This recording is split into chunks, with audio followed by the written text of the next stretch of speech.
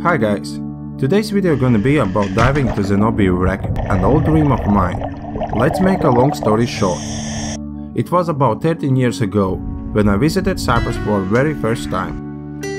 During my visit I was lucky to get invited on the board of ship who transported scuba divers to the location where the famous Zenobia wreck is. I was snorkeling just above it on the water surface when I saw how impressive it is. Water was so clear, it felt like a just few meters under me. Later the captain explained the wreck actually is 80 to 42 meters deep and the length of it is 146 meters. I was truly surprised how clear the water can be here, because I never had a chance to see something in such a depth so clearly.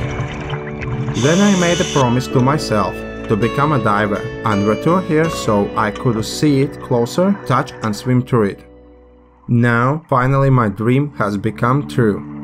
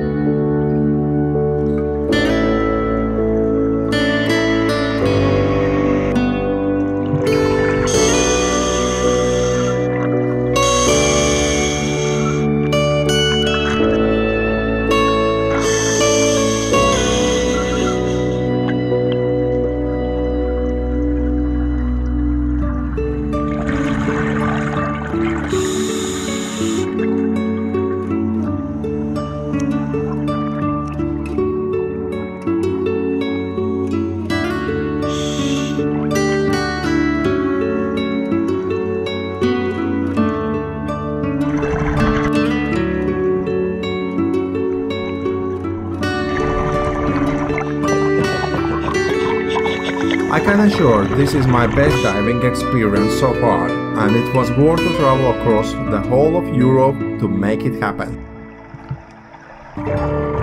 I hope you enjoyed the video.